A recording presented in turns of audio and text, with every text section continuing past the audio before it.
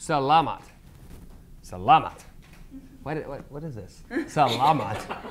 Salamat. no, just thank you. And I cannot wait to meet them tomorrow at the meet and greet. I'm so excited and so nervous. Great. So nervous. I've never done a meet and greet. Have you ever done that? And they're going to be like, oh, hey, Sean. I'm going to be like, How do you know my name? yeah. Wait, what? Are we best friends?